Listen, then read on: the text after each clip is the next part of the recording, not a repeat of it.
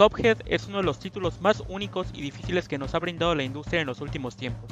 Su increíble ambientación en los años 30, su llamativo diseño audiovisual y sus memorables peleas contra jefes nos dejan ver lo que un equipo apasionado de desarrolladores puede lograr.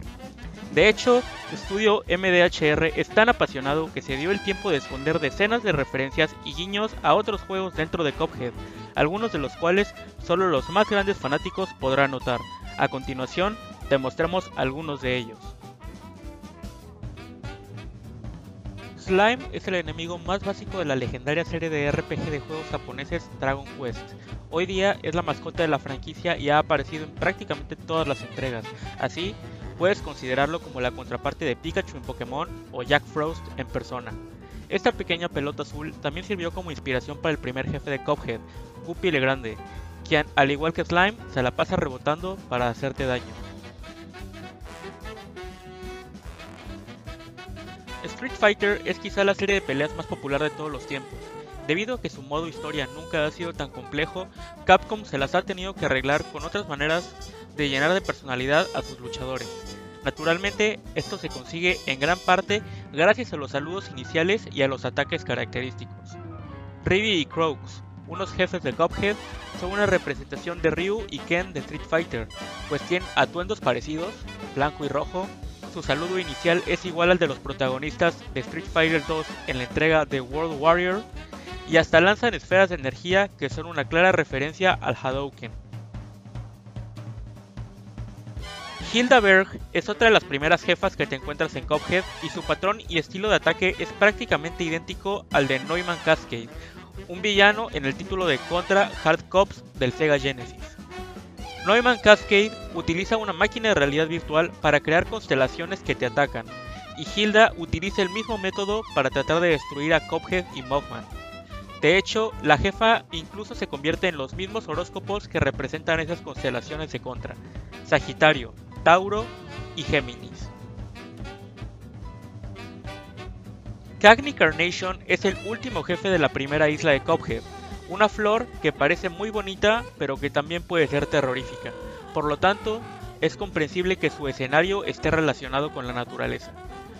Una referencia sutil, pero obvia para los amantes de los videojuegos, es que las plataformas que te sirven para escapar de algunos de los ataques de Cagney Carnation están inspiradas en las plantas pirañas de Super Mario, pues tienen los mismos colores y hasta los mismos puntos blancos.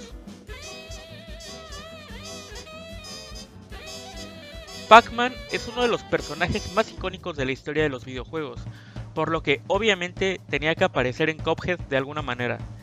La baronesa Bon Bon Bon es una de las jefas de la segunda isla de este juego y su escenario está inspirado en dulces y postres. Así, uno de sus ataques es un dulce con varios rellenos que abre y cierra la boca para hacerte daño, al igual que Pac-Man.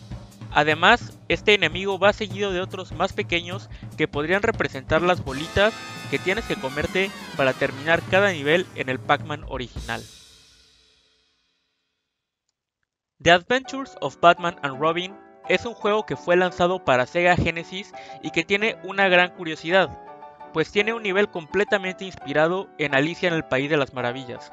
Por lo tanto, como estos superhéroes, tienes que enfrentarte al misterioso gato de Cheshire, el cual finalmente es revelado como un simple robot. Por otra parte, el jefe de Cophead, Werner Werman, es una rata mecánica que en cierto punto empieza a controlar a un gato, el cual, por cierto, también es una referencia a la caricatura Tommy Jerry, el cual intenta asesinarte a zarpazos. Después de derrotarlo exitosamente, la cara del gato se cae y también se revela que es simplemente un robot, al igual que el personaje de Alicia.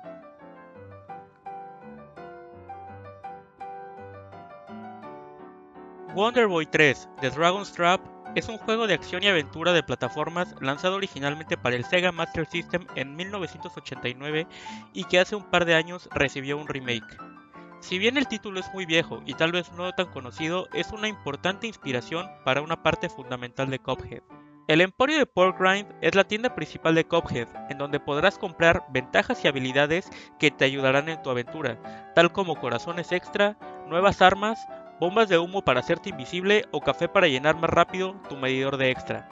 Pues como ya habrás notado, El diseño de personaje malo, entre comillas, de Paul Grind, junto con su parche del ojo, es una clara referencia al cerdo que también te vende cosas en Wonder Boy.